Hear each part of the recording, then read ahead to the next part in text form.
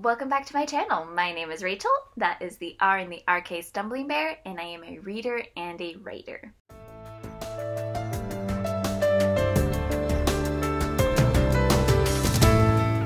Welcome back to my week 33 wrap up. 33. I've been, do- I've been doing this for 33 weeks. I'm so excited. Announcements. there is one more live show that Releaseathon is going to do and this one is going to be on Friday the 26th in the evening. Here's the graphic that shows the time. I'm not sure whose channel that's going to be on, but once I find out, I will have that linked down below so that you can find that. I hope that New Releaseathon has been going well for you and you've been at least able to read one book that was published in 2022 and that you enjoyed it. So the self-published science fiction contest has officially begun and it's starting off with a cover contest. And so each of the groups are going through their covers and selecting the ones that they like best, and then that will be brought into everyone and then goes through another process. I've also started, as we're calling it, taste testing the books that we've been given, that my team has been given to read. The goal is to read 10 to 20% and then mark on our spreadsheet yes or no if we're interested in continuing. The books that get the most yeses will then continue to be read by our whole group, and from there we'll pick our favorites to then pass on to other groups. Going into my book wrap up, to start off, I finished The Way Spring Arrives and Other Stories. This is a collection of science fiction and fantasy, stories written by women and non binary authors, primarily in Chinese and then translated to English. There are a few essays that it, it has stated that it was written in English. And I buddy read this with Kristen over at Kristen LSFF Reader and Shannon from That So Po. And I think I enjoyed this more than the other two. Because when we are talking about our ratings, I think I ended up rating it higher. And it was primarily because of how the collection ended. The beginning kind of caught me off guard, but I think that's where it was really good. I was reading with better readers because I'm getting to talk through things that I had missed when reading the stories.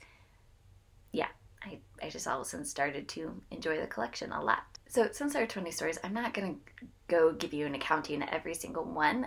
It probably am, mm, I'm just to talk about a few of my favorites. One of my favorites was The Mountain and the Secret of Their Names.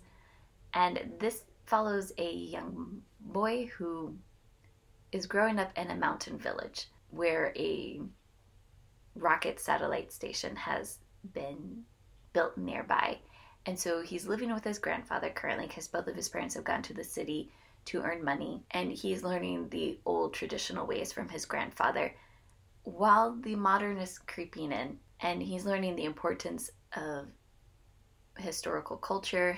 His grandfather is the village shaman. And he's learning alongside what that means.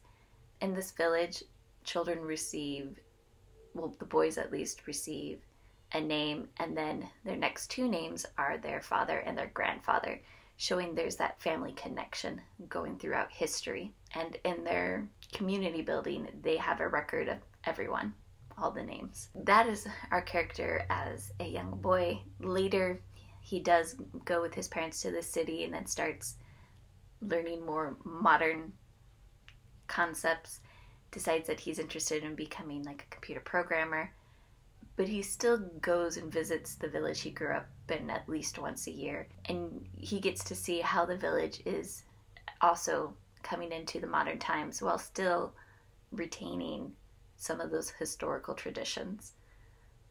And this is really about him coming to accept that he has the power of both the historical and the modern to help preserve his village and I really enjoyed it. This would be more of a modern story, definitely, because they talk about the 2008 Olympics. So, definitely more modernly placed, and I really enjoyed it. Like I said, one of my favorites. Another of my favorites was A Brief History of Beinakin Disasters as told in a Sinitic language.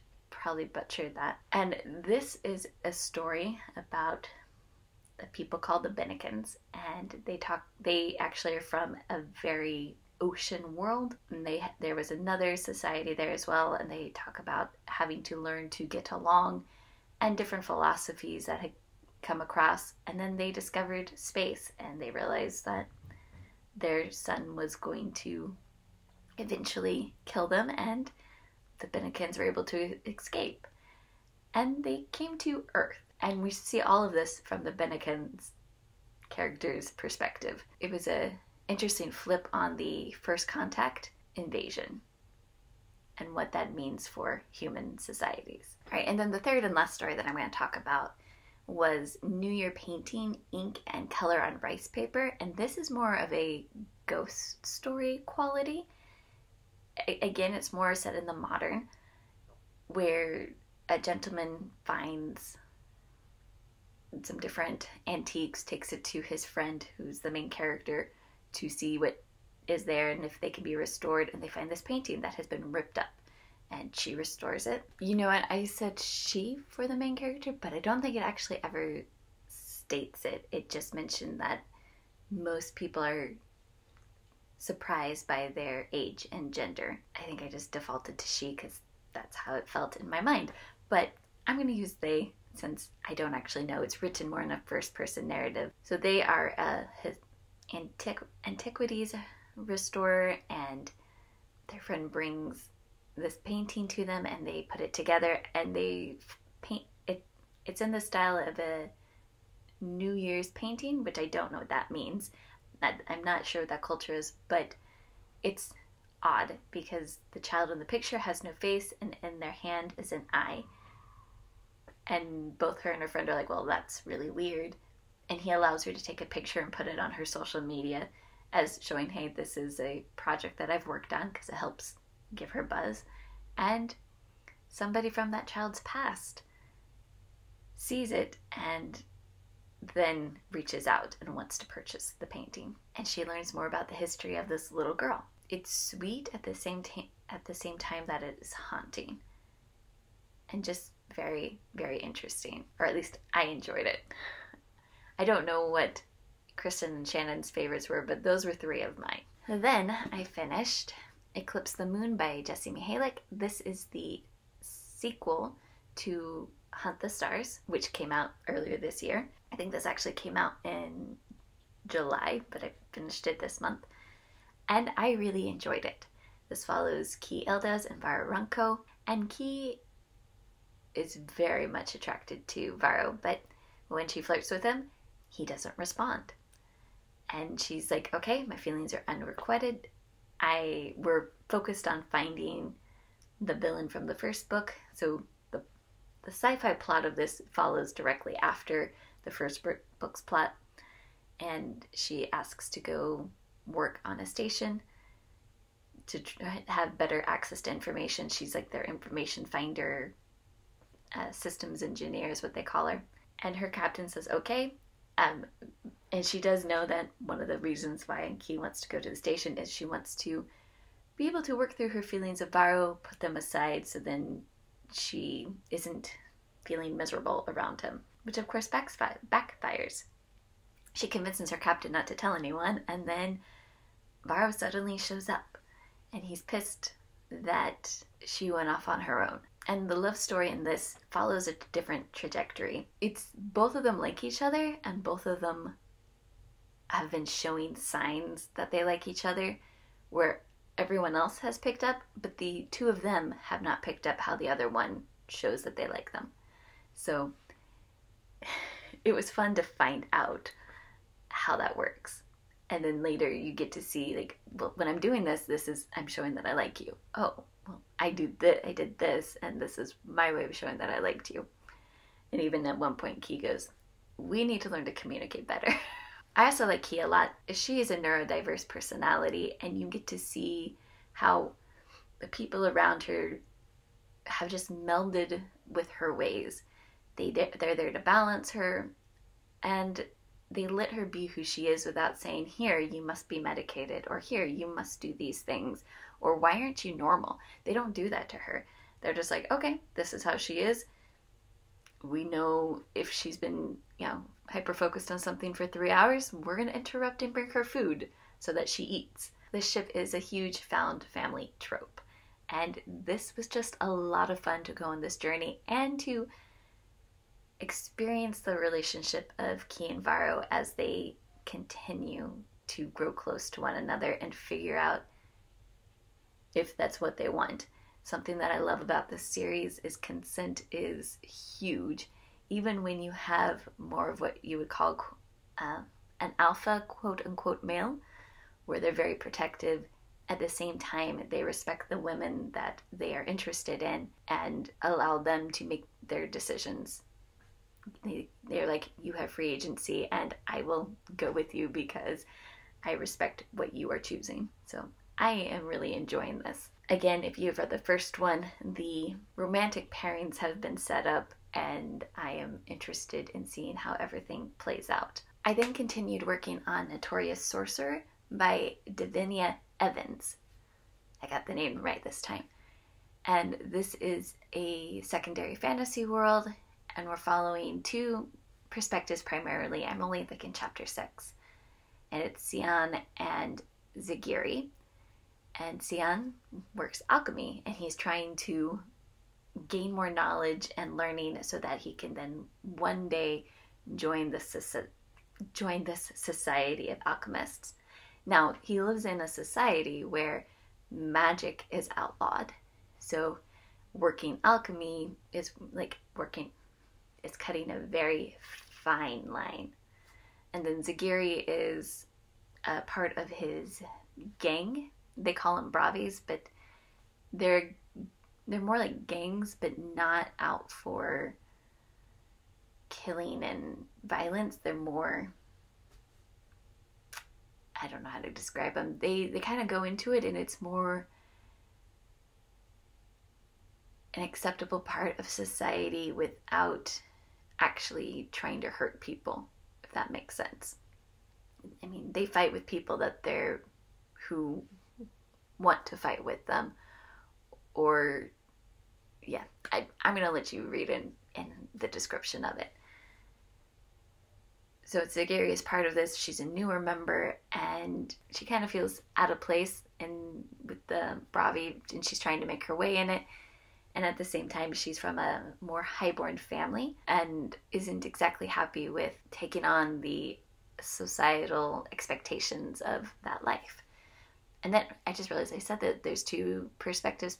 There are two perspectives primarily. We have gotten a, a third perspective, which added an interesting element at the correct point of time. And it was very pertinent to the rest of the story and what was going on at that time. So I am really enjoying this. The writing is beautiful.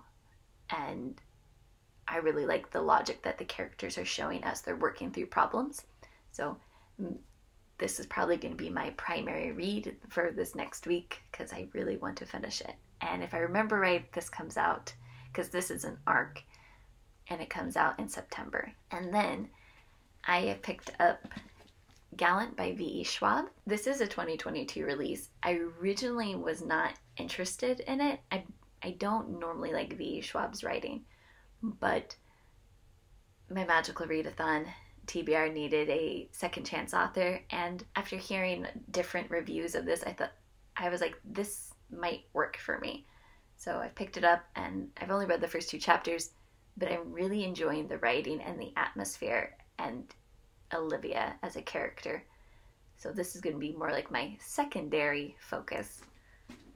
Notorious Sorcerer will be the primary. I forgot. I also picked up The Memory Librarian, and I am buddy reading this with Kristen over at Kristen LSS SSF Reader. And I knew it was based off of Dirty Computer by Janelle Monáe. I thought that was a song. Ends up, no, that is a movie. And so I watched the movie before I started reading the book. And I find that it's helping me understand the setting and the world of the book better. I've read the first two. I'm gonna call them novellas. They're pretty long. Like time wise, I think they were saying like three hour, three hours, two and a half hours. They feel like novellas. I sometimes wish that short story collections would in the back publish their word count because that would make it easier if you're wanting to recommend for different literary awards because then you would know. Otherwise, I'm just kind of guessing from length of pages or when I have something that shows me this is how much time it's going to take.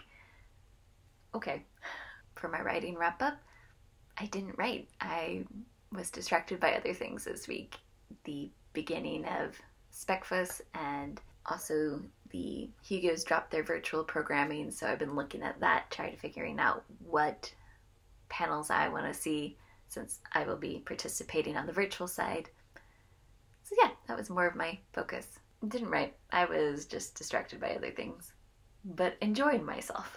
However, oh, I forget. I was told about a science fiction writers week through that is being hosted by Pro Writing Aid. That was a free event. I'll, I'm going to share the link down below because I like writing science fiction fantasy. I thought that would be interesting. And it happens to be the last week of August, which then just kind of doubles up on top of the uh, Worldcon, which is what I had. Which I already asked off for, so I'm like, oh, this is kind of perfect. I have the majority of that week off anyway.